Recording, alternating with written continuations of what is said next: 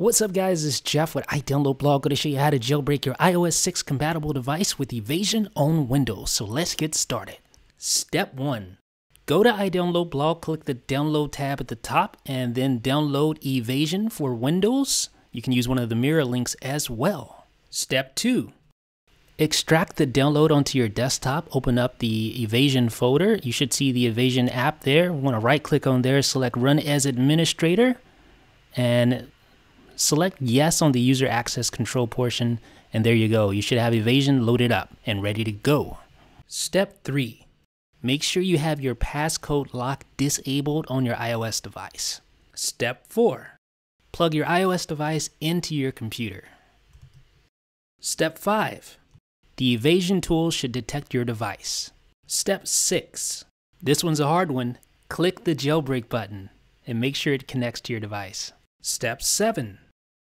Just like in the Windows tutorial, this step is the longest step because this is what really gets things going. It prepares the jailbreak data. You'll see various messages injecting step one jailbreak data. And I've actually sped this portion of the tutorial up just because otherwise you'd be listening to me talk for an extended amount of time. So you should see these messages. Your device should look like my device in this situation, waiting for device to reboot. And you can see in the bottom right hand corner, I have a screenshot or a video of my device. So you guys can kind of see if your device matches up with what's going on on my screen. So make sure all the matches, the messages match up. Uploading Cydia now, uploading Cydia packages list. And that's pretty much all with this step. Step 8.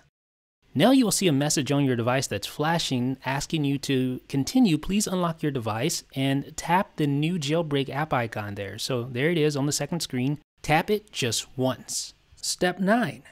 Now we're definitely in the home stretch. It's going to inject a remount payload. You're going to see several messages here, and then you're going to see your device reboot a few times here. So just be patient. Root file system successfully mounted. Preparing final jailbreak data. You should see the Evaders logo pop up briefly and go away. Again, I've sped this up a little bit for your convenience so you're not waiting here. Let's finish up with the final step. Step 10.